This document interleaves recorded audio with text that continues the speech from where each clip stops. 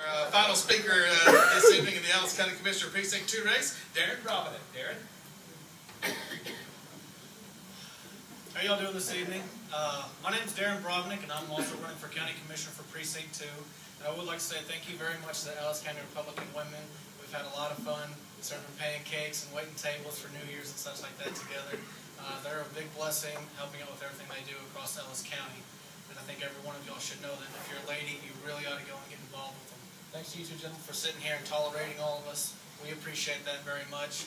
Uh, and I really want to say thank you to my mom and dad. They're back here. Uh, I currently work for my father, and I think he's kind of torn between the two. He's like, I want him to win. I don't want him to leave, so I don't know which one he's really going for. But I do appreciate him and my mom both being here. And then my wife at the back, she's wearing Republican red, but I think she's a little cold, so she's got her jacket on. Anyways, uh, the reason why I'm running, promise that'll be the last uh you hear from me.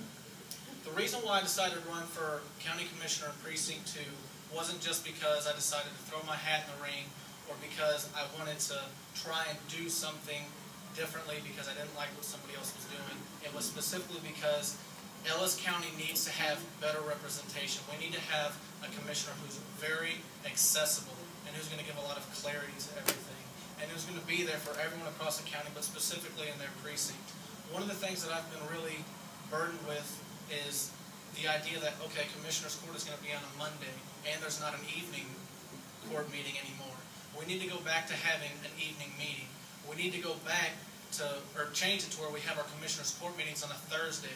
Because right now, as it stands, we'll post the agenda on a Friday, and guess what? Everyone's going home for the weekend. You're not going to get a hold of anyone and then Commissioner's Court starts up 10 a.m. on Monday morning. Good luck getting any information on anything you want to talk about. They also need to provide a lot of clarity with the agenda, not just in saying what's coming out to it, but they need to change it from, instead of being able to say your piece at the beginning and then wait for that to come up and just let business as usual occur, they need to change it to where, instead of saying anything at the beginning, unless you're coming up to commissioner's court because and you can't stay for the whole thing, but you want to say something, just say, "Hey, I have to leave. I can't stay till we get to this number on the agenda. Can I say something real quick?" And then you have your piece. Other than that, we need to have open dialogue with the people in commissioner's court. Who cares if it takes all day? The very first political event I went to was to a Senate district meeting, and we were there for almost 13 hours, and I had a blast the entire time lot of friends, and I did make a lot of friends on other areas. But I had a fantastic time because we were doing what was necessary. We were trying to decide who was going to be delegates and such for the state convention.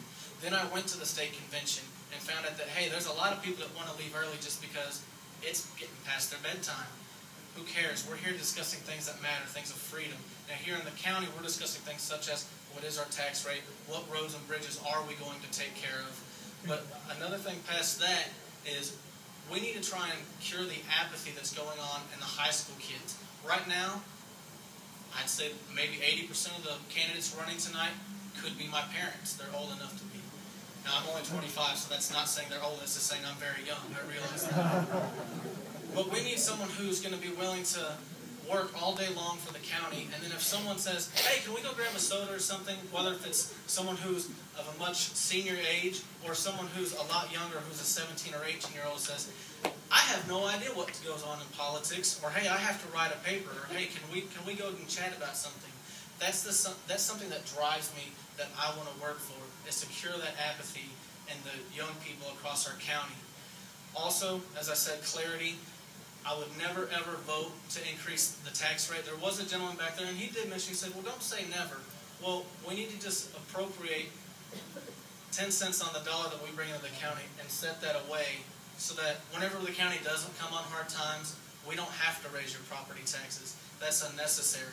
I would like to work with our next state representative and Senator Birdwell to consider them trying to change legislation to where we pay 4% income tax to the county 3% to the state. You don't pay property tax after that. You don't pay sales tax. All you do is those two checks to the state and you're done, and your one check to the federal. I think theirs should be 3%, but that's nothing I have anything to do with, so they can decide that themselves. But that's something that we can work with together.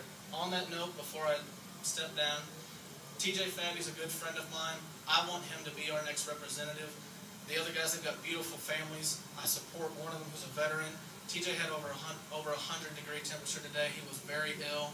He's got, he's been endorsed by Jonathan Stickland, who is the most conservative elected official we have in the state of Texas. He's a phenomenal man. He's a great father. He's a great husband to his wife. And I think y'all should give him consideration. And I would appreciate y'all's consideration as well for County Commissioner